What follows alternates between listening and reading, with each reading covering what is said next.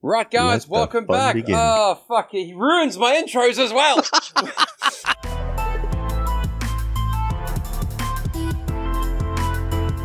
Right, guys, welcome back, welcome back. My name, as always, is Bamm de Havoc. Yes, because uh, that's that's the name I was given, and uh, thank you very much for that guy that gave me that name. And the Draconis is joining me, guys. Today we are going to talk about cider. Yes, we had some interesting freaking comments in the last uh, episode about our cider escapades. So Drac and I decided to indulge you, and it totally wasn't the fact that we completely blew this week's audio because we were idiots. It wasn't that reason at all. Promise. I have no idea what you're talking about. Uh huh. No, really, I have no idea what you're talking about.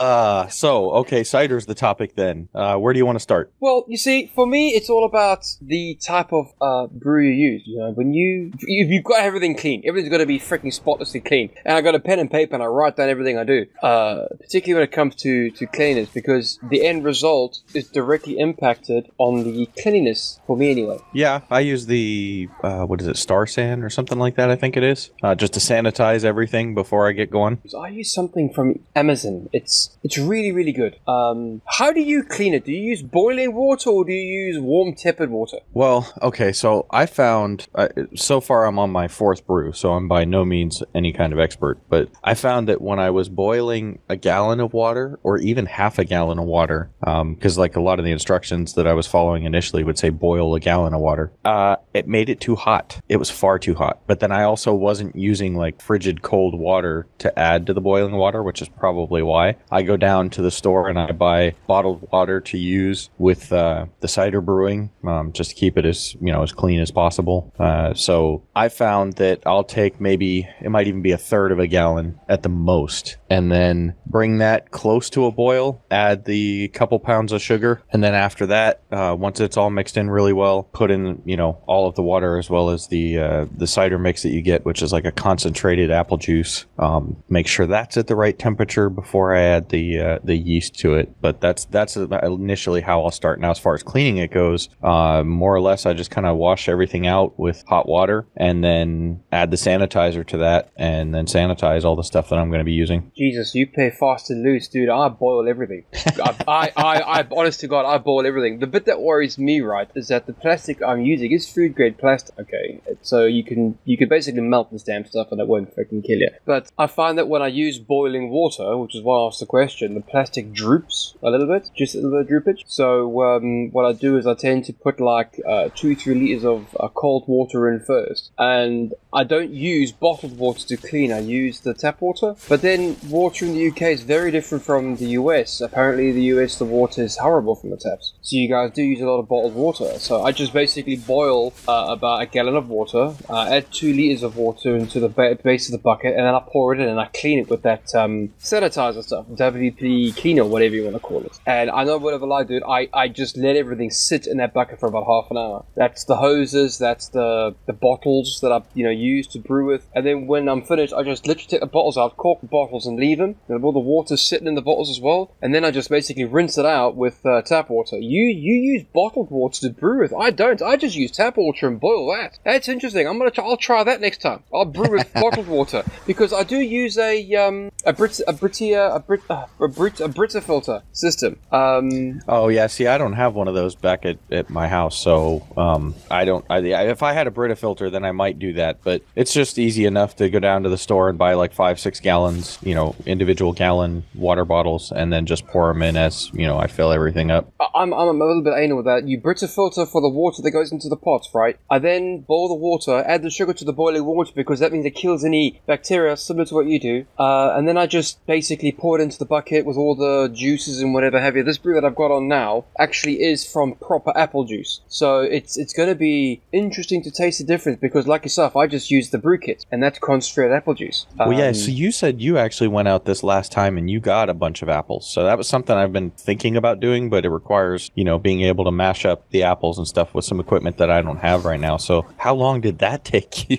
Dude, an inordinate amount of labor for what is being produced. I tell you what, was I need a military grade apple press. So what I did was in the UK up north, there's apple trees just growing everywhere, and you can go to people's front doors, knock on their doors. Yes, I was that person. If anyone hears this, that was me. I knocked on your door. So listen, you got an apple tree in the back garden, all the fruits falling on the floor and rotting. Can I have your apples? And a moment of lie, every single person I said yes, yes. We don't even eat these damn things, you know. Um, we, we were planning on uprooting the tree anyway. I'm like, oh, frick, I'm all over that. So Granny Smith's, um, Golden Delicious, uh, Gala. There was some sort of very small Gala-like looking apple. Um, grabbed that. It was like three, three massive bin bag liners of these apples. I know whatever. Like, I got about the first time I got about two liters from all these apples. I had to go back and go out again and go out again and get more apples. And I eventually got about uh, 12 liters. So that's that's a lot. And then, but what I did was I didn't bother peeling them. I did call them because um, I'm adamant that you crush those apple seeds, which have trace amounts of cyanide. You know, you're basically going to poison yourself. So I called every single apple I got. I didn't bother with peeling them and stuck them in the, the old uh, apple cider press and pressed it. You know, basically it's a it's a screw on a plate with a couple of blocks of wood and all the juice just flows out. I tell you what, very tart, very tart, neat um, apple juice, and it's going to be interesting to see what this tastes like. Very interesting. Since I did up the alcohol content as well by putting in a kilogram of sugar, so my guess was that the apples themselves will produce about four and a half. This is with the specific gravity uh, meter that I got, and after I added the kilogram of sugar, it looks like the projected alcohol content is going to be between eight and a half and seven. Um, so I'm- I, I wanted to circle back real quick.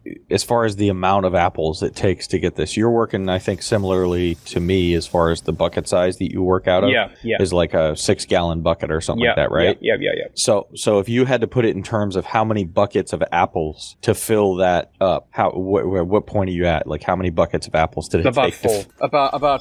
but that was that was just to get the two liter. Um,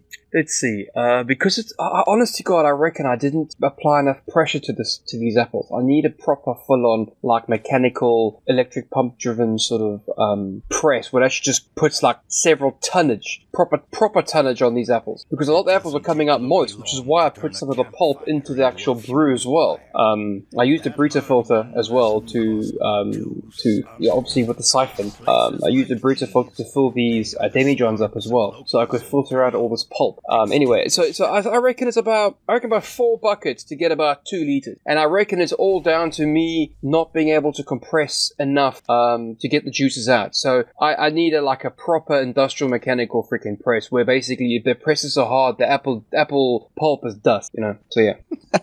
it's dust. No, dude, seriously, it needs to be dust because when when when you when I unwound the cheesecloth and pulled it out of the actual press, the bag was wet still. You know, it was still wet, and I'm like thinking, you know, Jesus Christ, man, what, what the hell's going on here? There's still apple juice in these apples, and I'm not getting it. So I've, I've got a I've got a 30 ton bearing press that I've got at work. So I'm thinking about, and all that essentially is is a is a 30 ton car jack uh, on a on a metal bar, and it pushes down the metal bar, and you get like a set of um uh, push rods and whatever to push bearings on uh, inside out of wheel hubs and whatever have you. So I'm thinking about getting a car jack, okay, and basically bastardizing it in such a fashion that it basically pushes down on a block of wood uh, with some um, heavy wrought iron, so basically it can withstand the tonnage or, or stainless steel or whatever. I think stainless steel would be better, actually, better choice. I think. Um, I don't really want to taste cattle grid when I um, drink my cider, so I think I'll be using that like a five ton, ten ton car jack, and I just basically jack the living shit out of this apples next year. I think it's it's all a learning process. You see, for me, it really is. I, I write down everything I've got. So three bin bag liners. That was about uh, twenty kilograms of apples. Um, I got about twelve liters, so I could basically fill up two demijohns, two five liter demijohns. I've left the bottom two liters because that was all just yeast and sediment and pulp. So I've got I've got two demijohns of proper apple cider, and I used champagne yeast as well this time around because uh,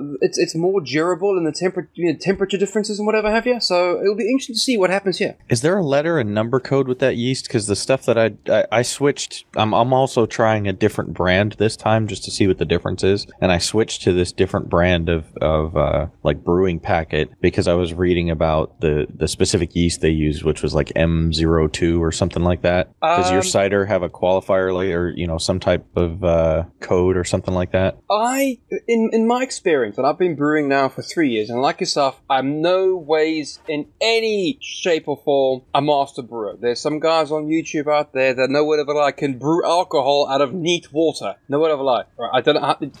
I, I'm not a brewer. I, I'm just an enthusiast. Okay. Now, from my experience, yeast is just yeast. It'll do the same damn job. For me, it was uh, temperature control. Now, because I'm in England and uh, it's autumn and it's quite cool, um, I have had to brew and um, do things inside the house. And because we've got a central heating system, the heating is always at around 15 degrees, sometimes spiking to 25, you know, in the evenings, in the mornings, you know, when everyone's getting up, turn the heating on 25 for a couple of minutes, and that heats the whole house. So I needed a yeast that was more temperature resistant to the, the massive drastic bits and pieces. No word of a lie though, to help insulate. I didn't just neat put the bottles out in the freaking open. I've wrapped them up in a blanket.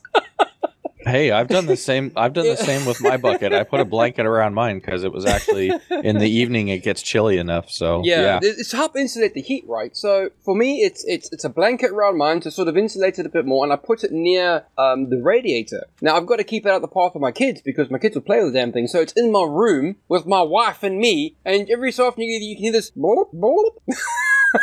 Well, yeah. She doesn't like it. She says I should get my own la la la. So this is part of the man cave. I'm I'm gonna be I'm getting a radiator installed into the man cave because the man cave ain't got no heating. So I'll be doing my my cider blip blip blipping inside the man cave, which has got a small little radiator soon. So yeah, that'll be very. Well, it's good that you remember to put water in that little thing at the top of the bucket. Sure, you're not talking about yourself, Drax.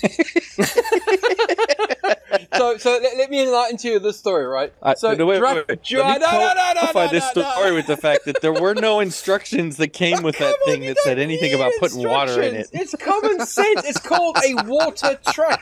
It's a No, I don't think trap. that's what it was called when I ordered it. What did they call it? Trapping of water. Actually, I th- no, actually, you know what? I think it came with the bucket kit or something like that. I just don't remember them saying anything about putting water in it. well, well, okay. It's not meant to be water. It's meant to be sanitized. Anyway, long story short, Drac did his first brew, and uh, he asked me one day, "Bamm! Everyone says there's meant to be bubbles and stuff. I don't see any bubbles." I'm like, "Drac, what are you talking about?" So the story revolves, and it turns out he didn't put any water. You've got a, a, a cup and ball, not a cup and ball. You've got the two cup water trap, haven't you? One Yeah. up, one upturned cup, one normal face cup with a lid over it, haven't you? Something like that, yeah. was, was I've got the I've got the uh, triple bubble U bend, and I'm like, you need water in that freaking that uh, uh, thing because what happens is it's a one way system, so nothing nothing nasty can get back into it and spoil your brew. And this was like what three weeks into the brew now, Drac? No, no, because it only stays in the bucket for the first week. So I want to say it was probably it was more than halfway in through the first week. Might have even been like two thirds of the way through the first week.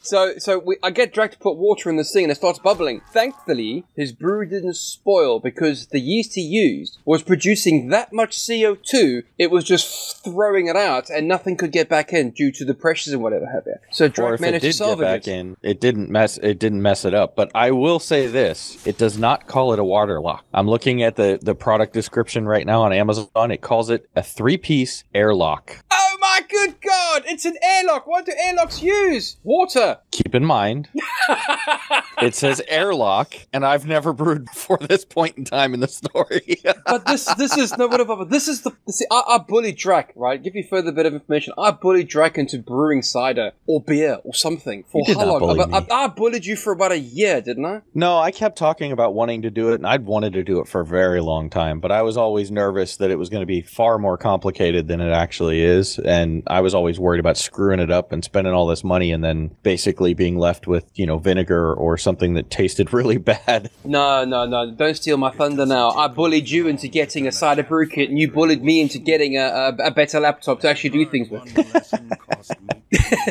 See, I give you credit for that, and you better give me credit for this. Anyway, so his, his first brew, his first bre- ever brew, uh, what was it, seven and a half percent, Drac? Yeah, it was somewhere around there, 7 8%, something like that, yeah. And it floored you, didn't it? Oh no, it was really good. It tasted Yeah. really good. Yeah, I mean, I just yeah. followed the instructions. That's the funny thing. It's it, it- in some ways it's just like cooking. You know, people make a big deal out of making turkeys or you know whatever, but it's really not that complicated, especially if you have a good set of instructions. So, anyway, the reason why we're talking about cider today is because I really like cider. Leading on to what's happening in March, okay? Myself, Drac, and G are meeting up. This is the first time three madmen from three different parts of the world are going to meet up in one part of the world, and uh, we're all going to drink cider. So G's got the specific cider. I think it's called Liederman Apple Beer. And I've been chasing that particular taste in my cider brewing ever since I tasted it. And I failed every single time. G is going to be bringing over two bottles. And after Drac tastes that bottle of Liederman apple beer, I swear to God, he's going to be chasing that taste too. Because it is like drinking apple juice. But oh my God, has it got a punch? Is, is this where we cut to the commercial for the, the particular beer product? Don't I wish, right? I tell you what, that's that stuff is so unknown in the UK that if it was imported here, it would it would take off. Honestly, it beats the pants off of any local. I say local cider brewer. I shouldn't have said that. I should say industrial cider maker such as uh, uh, Stella Artois, uh, and Magners. And um, okay, Woodpecker's pretty good. It's the cheap stuff, but it's actually pretty good cider. So on and so forth. If that stuff came to the UK and had a bit of an aggressive marketing campaign and got people to drink it, I tell you what, it would fly off the shelves. It really would. It's great. I've been chasing that taste ever, which is what made me go to actually picking and selecting the apples myself. Okay, granted, I put all three different types of apples in one bucket. Maybe I should have just brewed one individual apple, you know, all that sort of stuff. But I haven't done that. Um, I didn't have enough of each to do one decent brew. But anyway, uh, to force myself to actually use apple juice this time and then augment it with additional alcohol content because that Liederman cider is something like 7.5%. And I was only getting seven, uh, four, four and a half out of the apple juice, so I had to add the extra sugar. I just hope to God the extra sugar doesn't uh, make it too caustic. Caustic is the right word. Um, acrid. I think acrid is the right word when it comes to cider alcohol because it, it can be overpowering. I have made apple wine, which is like ten and a half percent. That was the last brew I did, and I drank half a pint of this stuff, and I was laid out. It just hit me like a ton of bricks. It laid me the shit out. Good cider. oh, kind of like that recording we did where I had two liters of cider while we were doing the recording. This was my homebrew stuff, and all I'd had to eat that day was a peanut butter sandwich. The best part about cider is that, I don't know, it's something about how the body absorbs it. It absorbs it so completely and so utterly that it will just lay you out completely. And I think, um, the States, it's called hard cider, whereas apple juice neat Yeah. is just called cider, isn't it? well, because you can get apple cider here, which is basically like pressed, I guess, from the apples in its juice, but still has pulp in it, and so that's considered just cider. And then the hard cider has an alcohol content, so they just specify it more, I guess. Whereas in the UK, it's apple juice and then cider. So you guys probably don't strain the apple juice uh, so that it's clear and free of pulp. There is there is two types of apple juice you can get. There is the clear, lovely golden brown stuff you can get, or there is the murky pulpy stuff you can get. I'm more in favor of the pulpy stuff because I- I'm I'm weird. I like ap- orange juice pulp. I like apple pulp. There's pear I was, pulp. I, yeah, I was, pulp. I was just going to say, it sounds like you guys uh, sell and market the apple juice uh, there, just like orange juice, with or without pulp. Yeah, I mean, I know you you pay the same price regardless, but and I know there's less apple juice in the pulp. It just tastes better. I don't know. I mean, I'll drink the normal stuff, no qualms. If but if I had a choice, I'd go for the pulp. I, I don't know why. So when you're straining yours, though, after the when you get to the point where you're bottling it, um, what are you using to strain it through? Because I know you've talked about coffee filters, but is that all you're using? Because I always No. end up with some sediment in each bottle, and I strain it through a couple of different coffee filters, trying to get as much of that out as possible. There's a specific coffee filter I use that's got like um I don't know like a micron rating or something. But then what I also do, and I'm not sure if I should be doing this, is I also put it through a fresh uh, Brita filter as well. So it goes through the Brita filter, okay, and then it goes through um, two separate coffee filters, like with a, with a micron rating or whatever have you. Then it goes into the actual um, the small bottles that I've got. So that, that's how I do it. And yes, no matter what I do, I can't seem to get rid of this damn sediment. But the sediment is so fine and so and such a little amount of it that I don't really mind it. Excuse me. Well, I mean, and to be clear, it, it doesn't hurt anything to drink that stuff. It doesn't cause any problems, and from what I understand, I don't think it actually really has much, if any, of effect on the taste. Um, but just just for you know, uh, easy on the eye, you know, sake, when you you know pick up the bottle, it's nice if the bottle's just nice and clear and there's no sediment in there. You were talking about them ones that you basically store them upside down. It's got a catch-all at the bottom of the lid, hasn't it? And all you have Oh, to do I'm- is a I'm- right-sided and twist, and it's there's no sediment in the bottom bottle at all. I've, I've been considering getting one of those um, instead of using the bucket that I'm using now, using something like that. I would be interested to see how that works. Yeah, you you talk about chasing flavor that flavor that one specific one. Um, I know you frown on this because of how, what your reactions have been when I mentioned the brand before, but uh, one of the ones I've really liked that I used to be able to get a hold of out here was Strongbow, and it was their honey flavored. And I haven't tried adding honey to mine yet, but I would like to do that because that taste was really good, and I can't find it anymore. They had it for a while, then it disappeared. I can still find Strongbow, but I can never find the honey flavor. Now, I'm sure Strongbow in America tastes very different to Strongbow in the UK. Strongbow in the UK tastes like industrial sewage. That is honestly the kindest thing I can say about it. well, that doesn't sound too good. Maybe the aging process of shipping it from there to here makes it taste better. there, there's there's a common misconception. I don't think they age and ship it. I think they brew it in the states go to state to, to an American palate. You know what I mean? Whereas oh, they the, might. So that's that's my thought behind it. So I would be keen to see if Strongbow in the state buy me a buy me a freaking can and bring it across. Oh yeah, right. No, do it, do it. You're allowed to do it, dude. Do it. No, I can't bring that stuff through the the uh, airport. Yes, you can. Stick it in your bag. Let it explode in your clothes. I'll, I'll, never get it through uh, custom or not customs. I'll never get it through security unless uh, I, I, suppose if I popped a bottle open and I put it in one of those little tiny eight ounce containers, I could maybe get it through. Look at us, mastermind smugglers. no, so so here's here's the thing, right? Honey can be used as um, an alcohol booster, right? And so instead of adding your sugar, you add your honey. Okay, it won't make it any sweeter. So the sweetness comes from your from your bottling process, right? So instead of adding your sugar, you add your honey. Okay, and then you basically consume it as and when you bloody well want. So you pour like a tablespoon of honey into the bottle, and then you add the cider to the bottle, and it basically circulates itself, and it basically makes it sweeter. If you use honey as your alcohol booster, um, there won't be much. I don't think there will there will be much much flavor um, increase, and I'm only basing that off the fact that I use caster sugar because it's easier to freaking um, liquefy in, in warm water compared to granule sugar. But I have used brown sugar. I've used uh, Demerara sugar. I've used full-on cane sugar. There's a Jamaican shop down the way that sells raw sugar, like proper stodgy raw sugar and stuff. I, I use that, and I don't really see a difference in taste. You know, I'm looking looking for that sort of. Ca- I was looking for a caramel sort of taste. I think you've done this before as well. And I yeah, I was actually cider. a little disappointed because I did do one with brown sugar, trying to get that caramel taste, and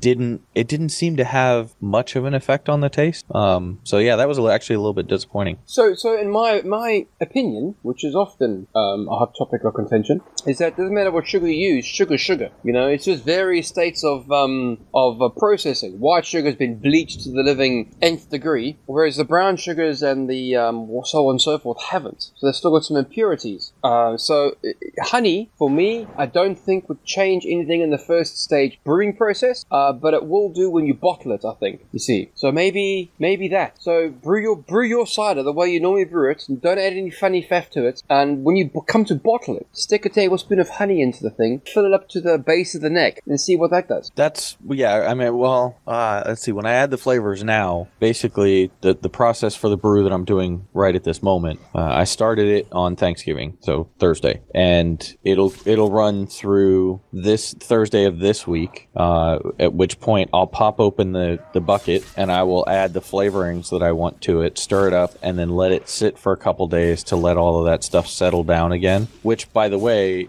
these kits that we pick up that I get up, you know, on Amazon that we use, that's part of the process. It comes with a flavoring packet that you can add to it that's supposed to help increase or accentuate the apple taste. So any flavorings I want to do, I add at the same point that I add that flavor enhancement. Um, so I'll, this Thursday, I'll pop open the bucket, I'll put that stuff in, stir it up, close the bucket again, let it sit, and then Saturday or Sunday, I'll go in and that's when I'll start the bottling process. Um, if I was going to do honey though, I think I might do like what you're saying because trying to measure the right amount of honey and make sure that it gets mixed in, yeah, that that might be a little more difficult than adding some liquid flavoring to it. And then two, on some of the bottles, I like to add cinnamon sticks to them and and get uh, get that cinnamon flavor. So I'll take like a regular cinnamon stick, cut it in half, and put it in the liter bottle, and that's plenty to give it a nice, good cinnamon taste. I'm gonna try that actually. Cinnamon sticks, actually. Um, but here's a question: Do you leave it in for seven days exactly, or do you let it just brew itself out and then you add your flavor and and then you bottle it into the demi demijohns for the second stage fermentation? Because I, I I fermented twice. Yeah, so I, it's between seven and ten days before I bottle it. So uh, just depending on how time is working out, when I have enough time, because it the, the process of bottling, um, I think what you said you do is you clean everything at the very beginning. Yes. And the very first time I brewed, I did that, but then the bottles sat there for a week before I even used them, and I just felt like, eh, maybe. You know, and then I, what I started doing after that was I kind of just when I do the second stage fermentation, when I shift to putting everything in a bottle, that's when I sanitize the bottles. Oh, So- oh, oh, going, yes, I did the same thing. I clean the bottles out regardless of them needing cleaning or not. I clean everything. It's like proper freaking surgical maneuvers here. Seriously. Yeah, I- so like when second I- when I go to- I clean too. Yeah, when I go to bottle it, I'll clean all the bottles, which takes a while. Even though I'm using liter bottles, I end up I've got about well, I want to say I want to say now I might have almost thirty. I've I have 24 one liter bottles for sure because I ordered that many. But now I I've acquired a few other bottles since then, uh, and I won't be able to fill all those up, uh, but I will fill most of them. I'll probably fill about 22 of the one liter bottles, right around where I get before I get too low in the bucket. And um, yeah, no, it's uh, the process takes a while because you've got to you've got to take all of the uh, the brew from from the fermentation bucket into the other bucket that's going to have a spigot on it so that you can take it from there and bottle it and it just it takes a while Here, here's the carry on. Sorry, carry on. oh no it's just it because you don't want to just pour it out of the fermentation bucket because then you get all the yeast so you got to like siphon Yeah. it out of the the fermentation bucket into the other one that takes a little while then once you have it in there then you know and you've got everything cleaned and you're good to go you then you got to put it into each bottle and it takes a little while to fill up each bottle but they have some really cool stuff. Again i keep mentioning amazon because it's just easy enough that i've gone to amazon for all this stuff but you can go to local brew stores too and pick this stuff up but they have cool little little tools that you can use and one of the ones i picked up is uh it's it's like this tube that's got a little valve at the very bottom of it that is activated by pushing on this little pin so basically you attach it to the to the tube and you put it down in the bottle and as long as it's pressing against the bottom of the bottle it'll let the liquid out and fill up the bottle and that makes filling up these bottles a lot faster I might ask you to acquire me one, please. That Yeah, I- sounds fucking I can send you a epic. link. That sounds epic. No, seriously, that sounds brilliant. Because I've got a valve. Open valve, close valve. Oh yeah no yeah no this is nice yeah I- i'll Messy send you the as hell. I hate bottling. Bottling is so messy. But here's another question, right? So, with your bucket, do you fill it up to the full 24 liters or 30 liters, however you brew it, or do you like do like 18 liters sometimes just to help with the concentration? Uh, I fill it up with about five gallons of water plus the juice packet that comes. So you haven't been fighting that watery sort of taste when it comes to cider. I've been lowering my water content in my cider by two liters, and I find that between 16 and 18 liters seems to be the, the magic mark for me with where with regards to um, having like that watery taste to it. With with the sort of 18 liters, it seems to be completely eliminated. Whereas before I was brewing sort of 24, 26 according to the brew pack, because like you, I follow the instructions to the nth fucking degree, and I, I kept on getting this water aftertaste. Now when I dropped it, drop it down by I dropped about two liters, and then it, just following suit every time I brew it, I brew two liters less. And with the 18 liters, I find that it's concentrated more. Um, I don't have a seven day primary brew. I have like a like a like a 14, 15 day primary brew. So my my my cider was brewing for like a two weeks, or still bubbling, just churning out the bubbles. And then the, the secondary ferment goes into the big ass five liter demijohn. I put in um two cups of sugar, so that's 500 grams of sugar roughly, into boiling water, mixed it all, put it at the base of these demijohns, and then I basically siphoned in the ten the 10 liters, and then I got extra I got an extra alcohol kick because uh, I tasted it and it didn't taste as it didn't taste as alcoholy as I wanted. So basically, I, I, I added some extra sugar to the bottles to increase the alcohol content, which pushed me to eight and a half percent on the secondary ferment. Now I don't know if I was supposed to do that because these these um, the cider is actually for Christmas because we're having a massive family Christmas, and I'm basically going to be pulling out these um, water traps, corking them, shoving them in the fridge to basically halt the ferment because you can stop fermentation by stick it in the damn fridge. Yeah, I haven't tried cutting cutting down on how much water I'm putting in to get a little bit more of a concentrated one. But actually, that sounds that that sounds like that could actually be good and get a little bit stronger of a taste. But you see here, here's where, where I think you haven't been getting the, the watery taste because you use flavorings. I, I don't, whenever I order a brew packet, I never ever get the sweet. I just get the yeast and I get the um, the concentrated apple juice. Okay, obviously this time I had to go and buy myself champagne yeast and, and all this stuff, but I didn't use any sweetness to tart it up. I just used sugar in the second stage ferment, which you could sort of you could argue was a sweetener, but it wasn't the um, that sort of uh, a sachet you put in that makes it taste more of apple. I, I, I don't get that in, in the brew kit. I'd like to try one. So if you've got a spare packet of apple apple um, flavor enhancer floating about, I take it as a powder, not not not a, not a liquid. No, it is a liquid. Okay, I, I'd like to try one. Bring one across. I'll brew with it. And that's that's one of the reasons why I add whatever other flavoring. Like the last brew that I did last year, I added vanilla. Uh, and this year, my first brew, I'm going to add pumpkin flavoring, and it, it comes as a liquid, which is much. It, it looks and it smells almost like it might be mixed with some vanilla extract. I'm not really sure, but um, the vanilla flavoring and and the pumpkin stuff that I've purchased again on Amazon, this stuff is all. It it says that it's made for beer and wine. So anybody listening to this, if you're finding this informative and you're thinking about brewing and adding flavors, one thing I will say is I, I will caution that the the flavors for these I think is too strong for cider, and the reason I say that is because it says on the little bottle that you should add one ounce per gallon. Now keep in mind that we've got you know five and a half, almost six gallons in the brew bucket when you're adding, and I only added the four ounces because I only bought one bottle, and I figured ah that'll probably be good. It was overpowering. It was too much. So this time when I add the uh, the pumpkin flavoring and I test that out, I'm probably only going to add one or two ounces to that five gallon bucket. I would agree. One ounce. Try with one ounce. If it wasn't enough, increase about a half. Don't don't go the whole hog too. Always You think increase so, huh? small small increment. But then that that's my experience because you know I can randomly chop and drop and freaking add and here whatever. But if you go by small increments,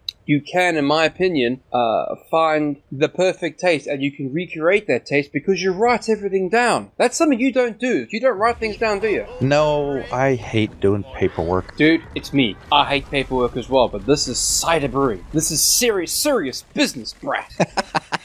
No, it probably would help for me to keep. I've, I've kind of kept track of, mm, I'd say, the big things in my head, like how I've done different things. But I like to pretty much distill the process down to a specific set of instructions where it's. Uh, I think you you had a good way of, of explaining it, where things were like compartmentalized, and so that I could take a take and and shift an instruction here or there to change up the brew, but otherwise the process is mostly the same. Yeah. So especially like getting started, everything starts out as the same, and then you know maybe what flavor I add, or if I even add a flavor, is different. But everything else, the, the whole process follows along the same way. Because I just I, I like to simplify it as much as possible, so I can just get through the process as quickly as possible without having to really put a lot of thought into it. Like find find what works, distill that down, get it to a streamlined process, and just go through that every time. yeah, I think that's how I described you. You're a compart- you're a compartmentalized um, brewer, whereas I think I'm I'm the guy that likes to micromanage the corn from shit when it comes to cider brewing. Not the most colorful of descriptions, but that's that's how I tend to micromanage it. I, I do I weigh things out. I've got a I've got a I've got a scale that can do the, the like two point two decimal points of weight.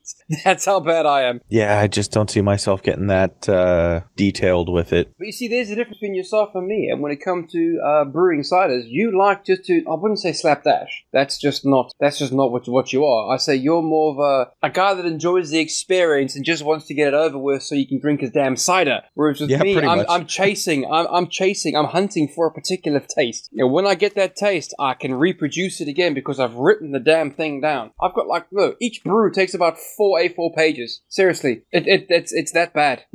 it's just Wow. That's that's a bit nuts. No, it, it, but I, I, I'm, I, this is this is even worse. I shouldn't be saying this, but even to the temperature of the water that goes into actually making the, the cider, and the temperature of the of the apple concentrate, and the temperature of the cold water that's in, and and, and you mix. Oh, I- I'm bad, very bad. Yeah, it sounds like it. no, it, No arguments from this side of the pond.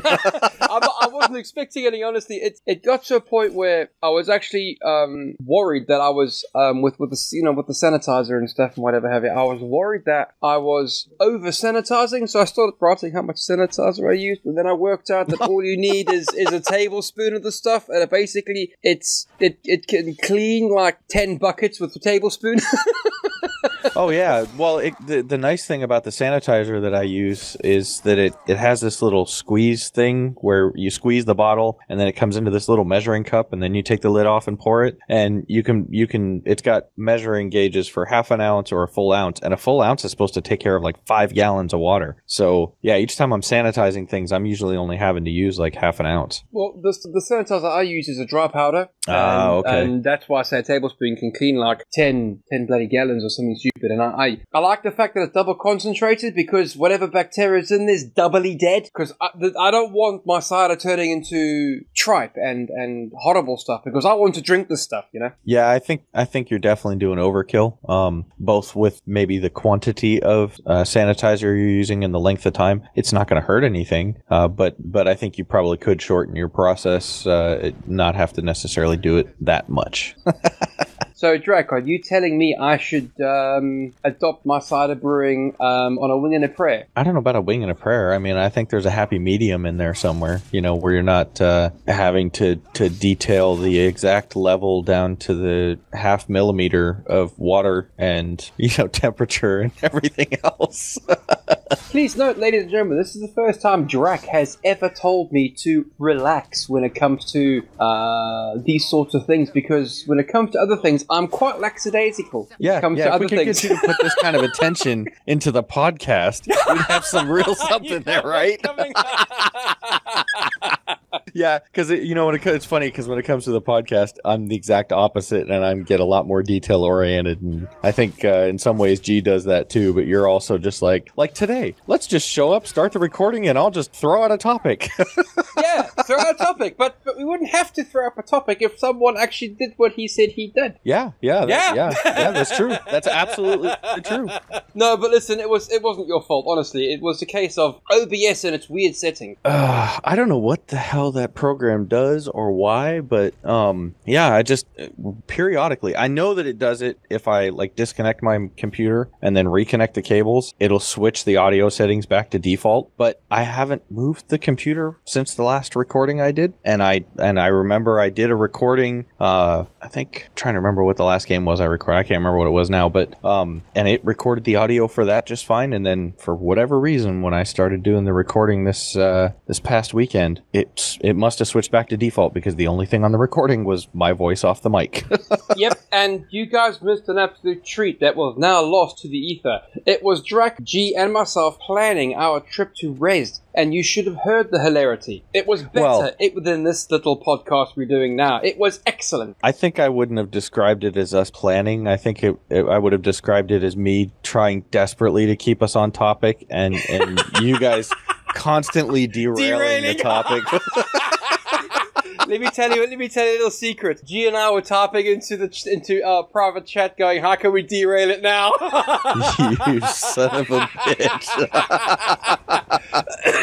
Deliberately finding a topic to derail because it's so easy to derail a conversation when it has to be serious. It has to be we just derail it, easy, simple derail by throwing in, "Oh yeah, so um yeah that that was that was the thing," and then G jumps on it, then I jump on it, and Drac goes, "Oh fuck it, oh yeah, no, no," carries on with us, and then twenty minutes later we're still no further than what we were.